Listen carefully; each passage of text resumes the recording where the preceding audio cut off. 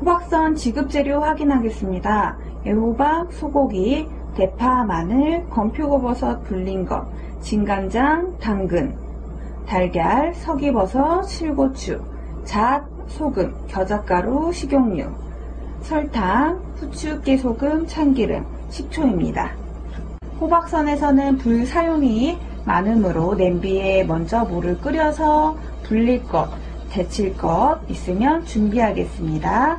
자, 데칠 거는 당근인데요. 당근은 채 썰어서 데치고 석이버섯은 찬물이나 미지근한 물에다가 불려주시면 됩니다. 표고버섯은 불린 것으로 지급되니까 그냥 사용하시면 되고요. 자, 석이버섯 불려두었습니다. 다음 겨자가루. 자, 겨자는 겨자장을 만들어서 따로 제출하셔야 합니다. 그래서 발효하셔야 하는데요. 냄비에 물 끓고 있죠. 가루가 한 큰술이면 물은 반 큰술 정도 넣어서 뻑뻑하게 개줍니다.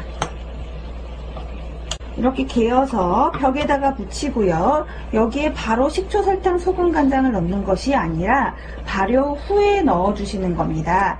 자, 그래서 뚜껑 덮어서 이렇게 발효하시면 되는데요. 일단 냄비 사용할 일 당근이 있습니다. 당근 데치고 겨자 발효하겠습니다. 길이가 정해지진 않았지만 호박 안에 끼워 넣어야 하므로 가늘고 짧게 성형하겠습니다. 한 2에서 3cm 정도 길이로 편썰고 최대한 가늘게 편을 썰어 주시고요. 아주 가늘게 채를 썰어서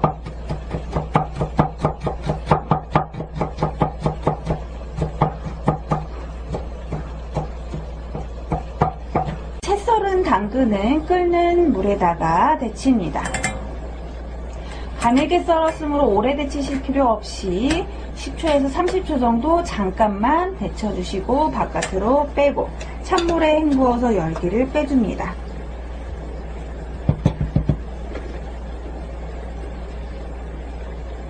자, 그래서 수분을 빼고 접시에 올려두겠습니다. 다음 겨자 발효해 보겠습니다. 아까 미지근한 물에 개두었던 겨자는 뚜껑 위에다가 이렇게 두시면요. 따뜻한 온도 40에서 50도 정도가 되는데 그 안에서 발효가 됩니다. 그래서 매운 냄새가 날 때까지 발효해 보겠습니다. 그동안에 호박 성형할게요. 호박은 두 개가 나와야 하고 길이가 4cm가 돼야 합니다. 4cm를 먼저 자르시면 절대 안 되고 먼저 반을 갈라서 대칭되게 만들어 주세요. 자, 그 다음에 4cm가 어슷하게 나와야 하므로 이게 아니라 이렇게 어슷하게 잘라서 일단 비스듬하게 성형을 합니다. 자, 비스듬하게 성형을 했고요. 그 다음에 4cm를 어디부터 재시냐면 맨 위에 부분부터 재시면 됩니다. 그래서 여기서부터 여기까지가 4cm. 같은 각도 한 45도로 들어갔는데요. 45도로 똑같이 들어가면 아랫면도 4cm, 윗면도 4cm가 되겠죠. 자, 이렇게 성형하여서 호박을 두 개 만듭니다. 자, 그 다음에 세 번 칼집을 넣어주는데 이것도 어슷하게 들어갑니다. 가운데 한번 균형 있게 넣어주시고 3분의 2 깊이로 들어갔습니다. 그 다음에 양쪽으로 한 번씩 넣어줄게요. 이때 부러지지 않게 조심하시고요.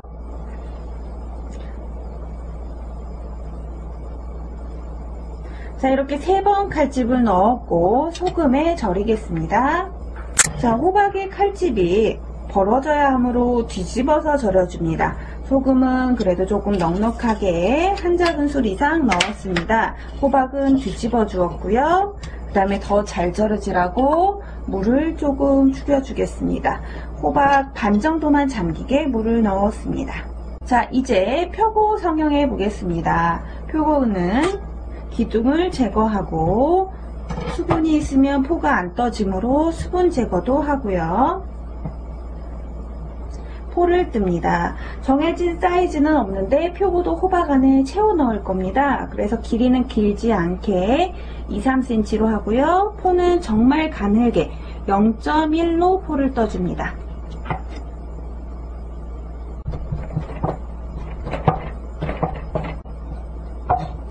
채썬 표고는 다른 때와 달리 간장, 설탕, 참기름 양념하지 않고 볶지 않습니다.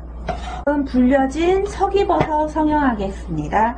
석이버섯은 안에 녹색 이끼를 제거하시고요. 소금으로 문질러 씻어 제거합니다. 그리고 깨끗한 물에 헹구어서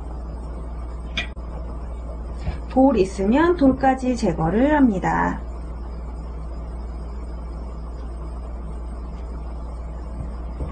채 썰고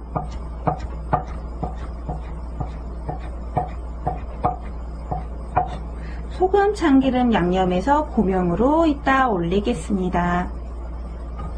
약간의 소금, 그 다음에 참기름,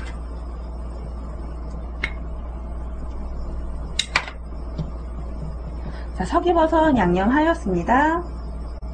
자, 5분 정도 지났는데요. 겨자가 발효가 다 되었습니다. 자, 이렇게 냄새를 바람으로 맡아보시면 매운내가 많이 납니다. 자, 뜨거울 때 식초, 설탕, 소금, 간장 섞어두겠습니다. 식초 2큰술 정도, 가루가 한 큰술이면 2큰술 정도 들어가고요. 그 다음에 설탕은 하나만 넣겠습니다. 소금 약간, 그 다음에 간장은 풍미와 색 때문에 소량만 넣어줍니다. 자, 이렇게 뜨거울 때 섞어주시면 설탕이 다 녹고 가루가 잘 섞어집니다. 덩어리가 많이 져있기 때문에 체에 내려서 제출하시면 됩니다. 체에 내려서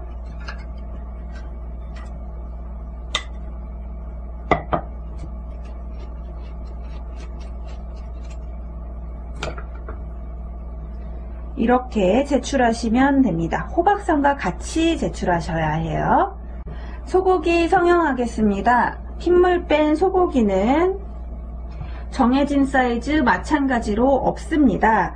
호박 안에 끼울 거니까 길이는 너무 길지 않게 3cm 정도 했고요. 그 다음에 두께와 폭은 최대한 가늘게 0.1로 뜨겠습니다.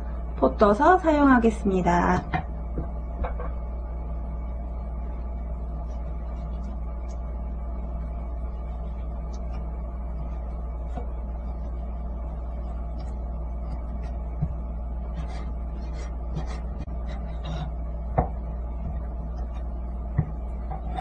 자, 저는 이제 소고기, 표고, 당근, 양념장 만들겠습니다. 간장 한 작은술, 설탕 간장량의 반이나 3분의 1, 그 다음에 미리 다져 두었습니다. 파마늘 넣고요. 후추, 참기름, 깨 부셔서 넣었습니다. 자 이렇게 7가지 가진 양념을 만드신 다음에 오늘은 다르게 소고기, 표고, 당근 3가지를 합쳐서 가진 양념합니다.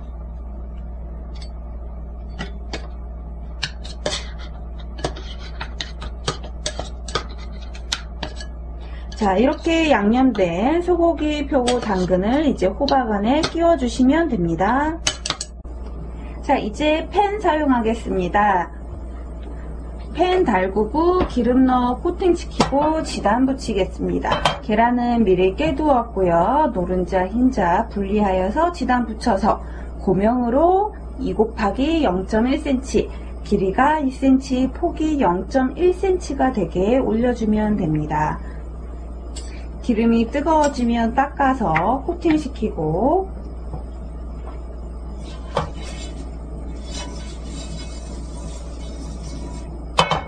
불은 약불로 합니다.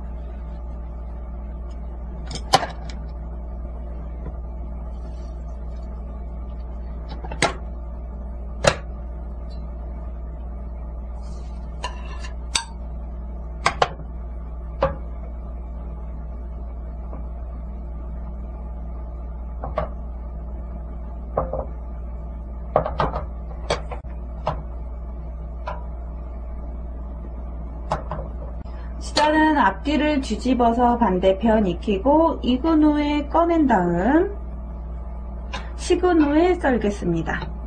지단을 다 붙이고 나서 석입어서 볶습니다. 석이버섯 볶으실 때는 기름 소량만 둘러주시고요. 불은 약하게 하여서 볶아냅니다. 자 이제 호박 잘 절여졌으면요 한번 헹궈서 속재료 끼워 넣겠습니다. 물에 헹구어서 소금기를 빼주시고 물기 제거합니다.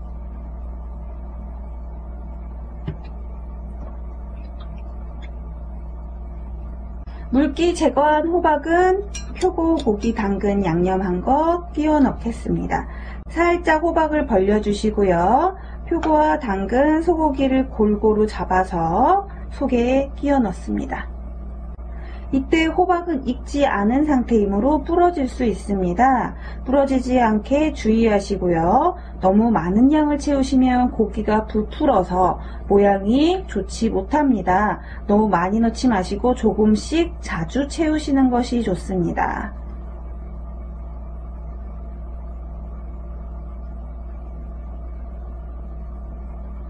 자 이렇게 해서 호박선 재료 다 채웠습니다. 이거를 이제 냄비에 넣고 찌겠습니다. 자, 호박선을 찌려면은 냄비에 물 한 컵 정도 넣어주시고요. 그 다음에 소금과 간장으로 색과 간을 합니다. 약간의 소금, 그 다음에 간장, 엷은 보리차빛 색깔로 맞추어 줍니다. 그 다음에 여기에 호박을 넣어 주시는데요. 호박 칼질 위로 물이 잠겨지면 속재료가 나와서 보기 좋지 못합니다. 그래서 칼집 밑에까지만 물이 잠겨 있게 하시고 불은 약불이나 중불로 뚜껑은 닫고 이렇게 호박을 익혀줍니다. 자, 계란 노른자 흰자 지단은 폭이 0.1, 길이가 2cm 정도로 합니다. 먼저 길이부터 맞추고요.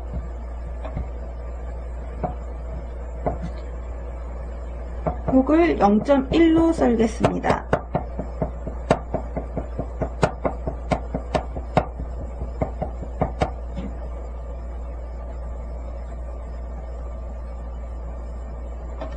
흰자도 노른자와 같은 크기로 썰겠습니다.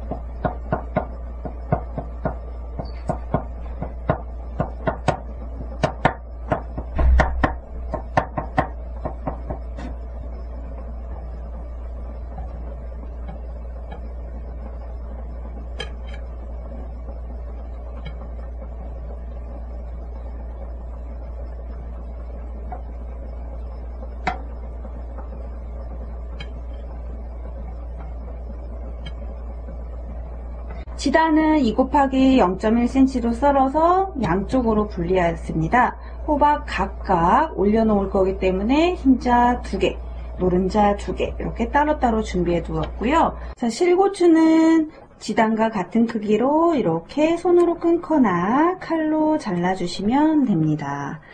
자, 그리고 뚜껑을 열어서 국물을 끼얹어가며 고기가 익도록 호박의 색이 누렇게 되지 않도록 합니다. 자, 호박이 다 익었으니까 담아 보겠습니다.